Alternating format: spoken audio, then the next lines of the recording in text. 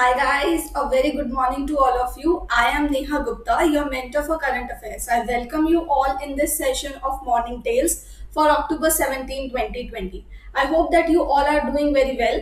And before starting this video, those who are come, those who have come for the first time on this channel, let me introduce myself to them.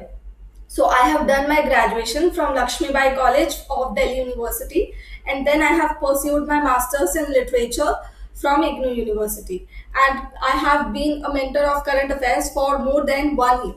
So uh, here my uh, introduction ends and I would like you to uh, introduce with the Morning Tales series. So in this series I will be first introducing with the topics that we are going to discuss uh, in the table of contents and then we will be discussing each and every question in detail. So let's move on to the table of contents. But before that, I would like you guys to subscribe to our channel and hit, the bell notification so that whenever we come live or we upload any kind of new videos, you get the instant notification through this bell icon. Apart from this, you can also join our telegram group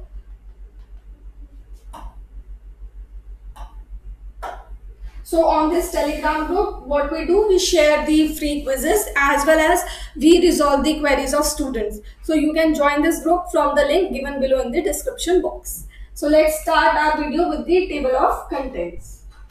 So here the first news is National Authority for Recycling of Ships. So this authority has been uh, recently set up or we can say uh, an already existing uh, organization or agency has been given the name which is National Authority for Recycling of Ship.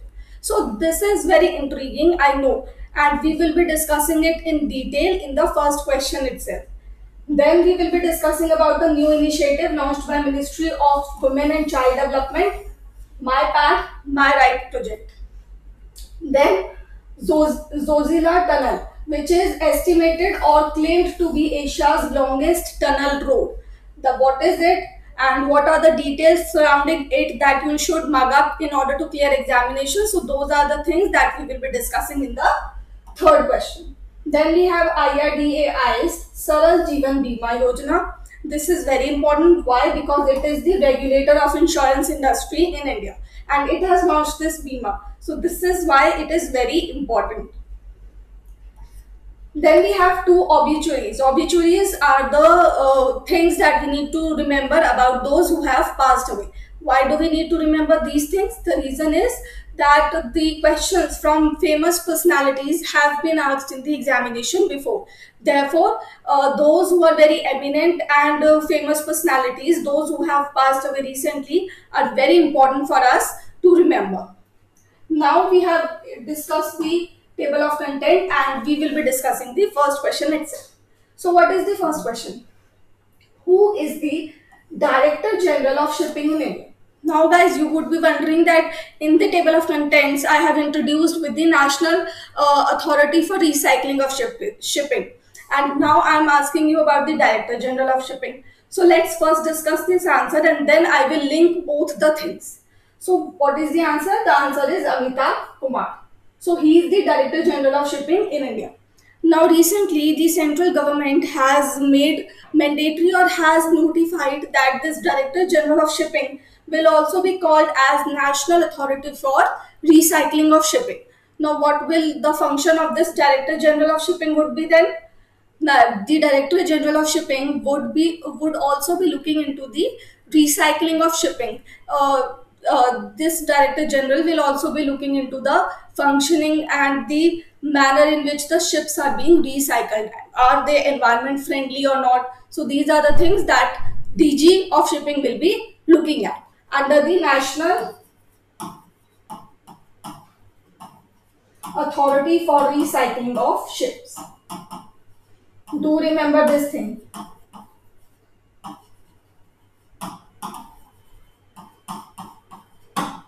This is very important. And uh, what would be the function of this National Authority for Recycling of Shipping? First of all, to look at the manner in which the shipping, uh, recycling of shipping is being done. Uh, is it environment free, friendly or not?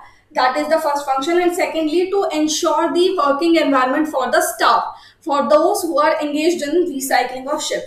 So these are the two functions that this authority will be looking at and DG will be or DG is Amitabh Kumar. So he is the head of this uh, authority as well.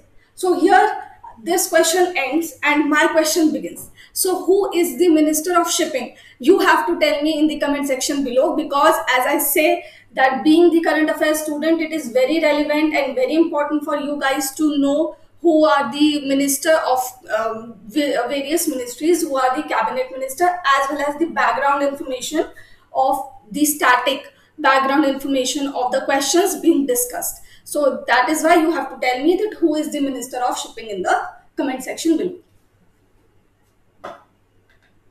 Now comes our second question which is which of the following organization has partnered with Minister uh, Minister of, for Women and Child Development and Textile. Who is it? It is Smriti Irani.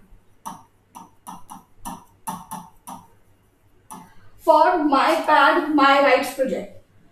So let's discuss the answer of this question first and then we will be discussing about this project in detail. So what is the answer? Is it an academy, NABFOUNDATION, Jayashree Industries, both A and B or both B and C? So the answer to this question is option E, both B and C. That is NABFOUNDATION, Jayashree Industries in association with NABARD. Have partnered with Ministry of Women and Child Development in order to launch this My Pad My Rights campaign. Now what is this campaign all about? Pad is the sanitary napkin. So from here itself, uh, here it is very obvious that the uh, campaign is to create awareness among women about menstrual hygiene. So what is the purpose?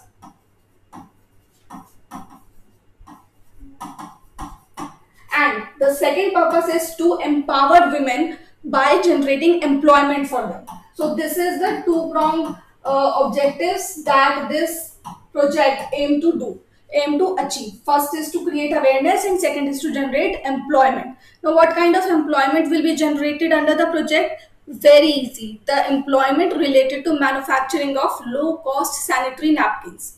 Now guys, you would be amazed to know that this Jayashree Industries, the CEO of this Jayashree Industries is Arunachalam Murugan, uh, Muruganandam. And who is this? He is the actual padman on which Akshay Kumar's movie has been uh, has been formed. So he has said, he has announced that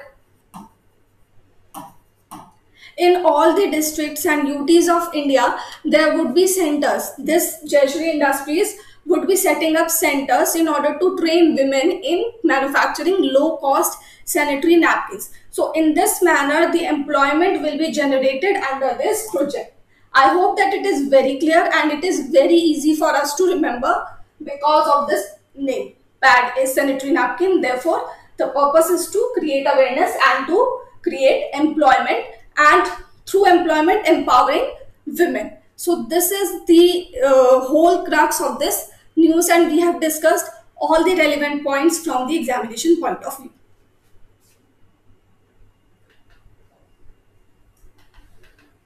Now this is our third question. So what does the third question say? Proposed Zojila tunnel which is also estimated to be the Asia's longest tunnel road will provide all year connectivity between dash and dash. So tunnel road is being constructed so there would be two regions which uh, are being connected through this tunnel road. So what are those regions? Which regions are those? So the answer is Srinagar and Leh. Now guys, in order to make it simple and in order to make it interesting, I have uh, I have clicked the picture. I have taken a picture in the next slide. So this is Srinagar, this is Leh, and this is Kargil. So this is the overall arc that the Zojila tunnel is going to uh, cover. Now, what is the importance of this Zojila uh, tunnel? Now, you need to remember this thing that Zojila Pass is in Himalaya and in Himalayan region and it is at a very greater height of about 11,000 feet above the sea level. Now, this is a very basic information. You don't need to remember. You are not required to remember this thing. But the reason is that you have to understand why is this tunnel being developed so the reason is that due to its height, heavy and heavy snowfall, it becomes very difficult to travel from Srinagar to Leh, from Jammu Kashmir to Ladakh in the winters because of that heavy rainfall. That is why this tunnel road is being developed so that the traveling can be made easy. So that is the main purpose of this road in order to make traveling easy from Srinagar Leh and in between it will be connected with Kargil and Dras. It will provide connectivity to Kargil and Dras regions. So this is the main purpose of Zojila tunnel and you have to remember this thing that Zojila pass is in Himalayas. It is the static portion that you have to remember. And we have discussed everything about this road tunnel. Now, this road tunnel is being built by Ministry of Road and Highways. So you have to tell me who is the Minister of Road, Transport and Highways in the comment section below. And here comes our next question which is what is the minimum sum assured in the Saral Jeevan Bima of IRDAI? First of all, what is the full form of IRDAI? Do you guys know it? It is Insurance Regulatory Development Authority of India. Do remember the full form as well because it is the apex organization, it is the regulator of insurance industry in India. Now it has launched this Saral Bima Saral Jeevan Bima. So what is Saral? Easy life insurance. Now I hope that you can easily understand the purpose of this insurance. First of all, to provide the life insurance coverage easily to the people and secondly to reduce compliance and reduce complex formalities for the uh, customers who have who want to enroll who want to avail the benefit of this insurance scheme. So this is the very basic purpose of this insurance scheme. Now what is the minimum sum assured? So the minimum sum assured is rupees 5 lakh and the maximum sum assured is rupees 25 lakhs now you would be thinking that why is it important for us to remember even the sum assured, the minimum and maximum sum assured of an insurance policy when there are uh, many insurance policies being launched every new day. So why do we need to remember this thing? The reason is that it has been launched by IRDAI and that is why it is important. And that is why you have to remember each and every detail regarding this uh, Bima policy. So first detail is this. Now second detail is that this amount is extendable so the upper limit is extendable and it depends upon the insurance company whether it wants to extend it or not. And this is the very basic information that I wanted to tell. Now apart from this, who would be eligible for this uh, insurance? Those who are between 18 to 65. This is the minimum age limit, minimum and maximum age limit. Apart from this, what is the tenure of this life insurance? 5 to 40 years. So these are the three facts that you have to mug up about this scheme. And here this question also ends and my question again for you is who is the chief of IRDAI? You have to tell me in the comment section below. Guys, I have seen that uh, the comments in the comment section have been reduced, but I would like you to comment the answers because it will help you in remembering the questions better. So do it for your own sake you will help in remembering questions as well as the answers that you have given in the comment section better. Now comes our next question which is about the obituary. So who among the following is the first Indian Oscar award winner? Recently this person has passed on.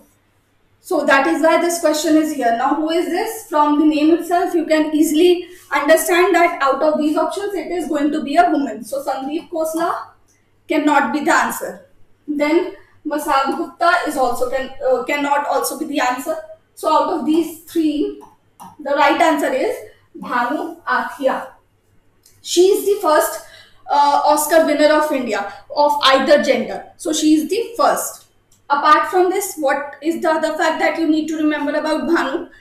The fact is that she got the Oscar for a film Gandhi, the film named as Gandhi, which was released in 1983. So she is the costume designer. That's the main, main important point. That she is costume designer.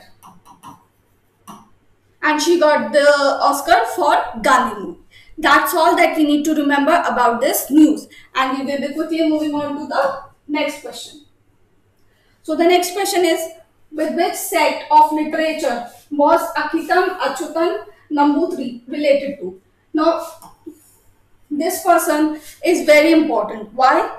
Because in 2019, he received the highest literary honor in India, which is Jnanpith Award. That is why he has been in the news for past one day, past one year. So you have to remember this thing that from which sect of literature does he belong to? Is he a Kannada dramatist or a Malayalam poem poet, not poetry? Telugu novelist, Marathi critic, Odia poet or novelist. So guys, can you make a guess who is, who is he from the options? Okay, let me resolve this for you. So he is the Malayalam poet. Do remember this thing. This question can be asked in the examination. So he is the Malayalam poet and he is also the latest receiver of Jnanpith Award. For 2020, Jnanpith has not been given. That is why this is very important. And here the lecture for today comes to an end. I hope that you have really liked it. And if you have, then do comment the answers that I have asked you for. And do like this video. Thank you.